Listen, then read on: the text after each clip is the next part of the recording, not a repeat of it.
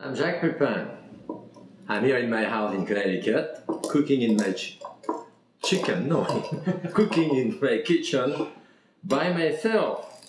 I used to have a better partner than that, and that was, of course, Julia. As you can see, I have two glasses here, one for me and maybe one for her, just in case she show up. You never know with Julia, you know. So here is to Julia. Anyway, this is great to remembering all those fantastic years that we had together. You know, there is so many, many things to remember about Julia. Me, I mean, I met Julia in 1960. I spoke French with Julia at that time. Her French was better than my English. She just came from France. And uh, she didn't write for a paper. She never did a book. She had never done television. So it was, uh, she was quite unknown actually. And um, she had written that, at least the manuscript of Mastering the Art of French Cooking, and that's why we were together in New York when I met her the first time. And since then, we became friends, and it was a friendship who lasted close to half a century, with a lot of food, a lot of wine, a lot of good moments together, and that's what we want to remember.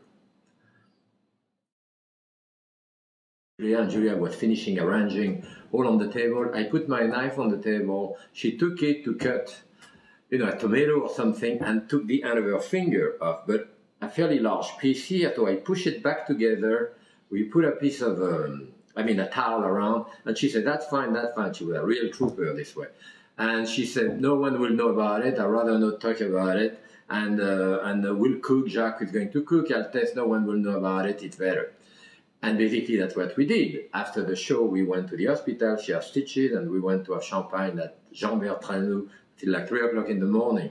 Uh, I think two days later she was on the, on Johnny Carson show. They talked about that. A week later I was with her on Catherine Grosby's show in San Francisco, and we did omelette together. Well, all they talk about was her finger.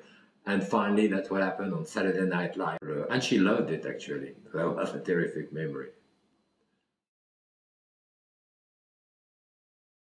IACP used to be a smaller organization uh, than it is now, and we really got together and had a, a great time. Still do, but differently. And for years and years, uh, Julia and I went. I know I was very assiduous, you know, going every year and every year. And Julia too, she was very enamored and loved IACP. She thought that it was the type of organization uh, which had no, uh, you know, political or, or, or profile or anything like this. All the idea was to network and find job and put people into cooking. And uh, so she loved that because she was very generous this way to help people. So each time we would go there with her and Barbara Fenzl and Susie Davidson and other people, we would get together and spend a, a great week, you know, talking about what was going on in the food world, but especially drinking and having a good time together. And that from Dallas to uh, New York to uh, you name it to, to San Francisco to uh, we we did many many cities together having fun.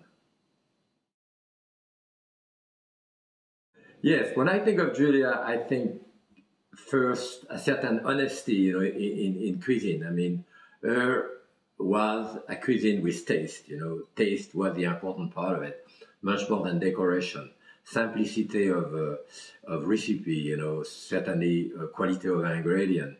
I mean, cooking together and something true. I mean, real food, you know, what we do.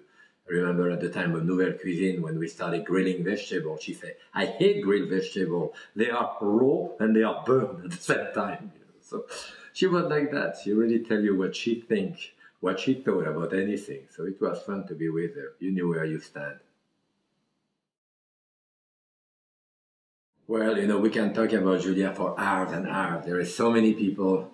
Uh, she touched the life of so many people, and she was the first one to help the, the, the little cook who just started, whether it was either on television or writing a book or a recipe, or the student at the school, either at the French Culinary Institute in New York or at the Boston University. She was always excited and happy to be with students, and people understood and knew that that would be her legacy. And Julia, here is to you. I wish you were with us today. I know you are somewhere looking at us and smiling and charging the food wherever you are. So here is to you. Thank you again for all those years and all that love.